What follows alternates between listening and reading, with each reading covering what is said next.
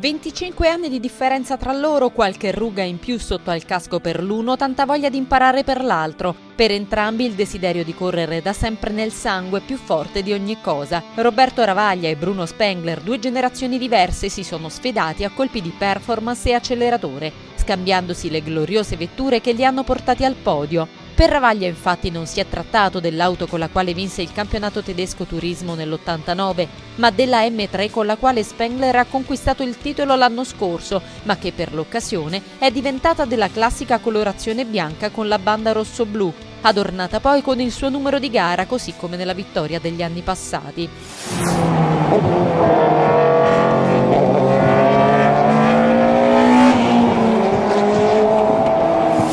Scambio di vettura anche per il canadese, ma con la stessa livrea della sua Sport per l'emozione di salire sulla sua auto da corsa diventata per l'occasione un po' retro.